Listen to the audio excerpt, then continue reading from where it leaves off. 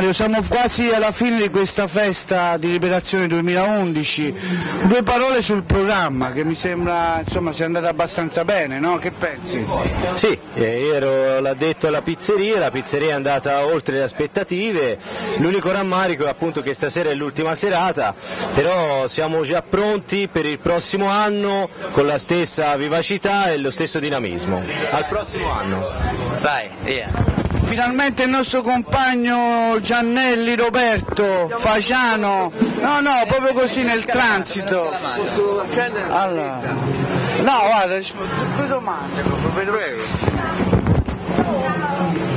Prego. Dopo l'accesa di questa sigaretta, vogliamo sapere il- come mai questa sera hai scelto di venire alla festa di rifondazione. Eh, mi sembra giusto, mi sembra giusto venirci, vedere chi c'è, le persone, è una festa che accoglie, sicché ci sono le persone che conosco. Ti senti in famiglia su- in questa festa? Famiglia, sì, sì, sì, una famiglia, sì, sì, anche in famiglia, perché Come, come ti sembra? Migliorata? Insomma, ogni anno un po' meglio. Eh, io sono di quelli che viene poco, però insomma la gente c'è, eh, persone ci sono, le maglie rosse girino a tutto spiano. Vogliamo dirti anche, cogliere l'occasione per dirti che la tua presenza qui ci fa sempre piacere. Io Riccardo ti ringrazio e mm, anche a me, eh, guarda, hai detto una cosa che anche a me mi fa molto piacere.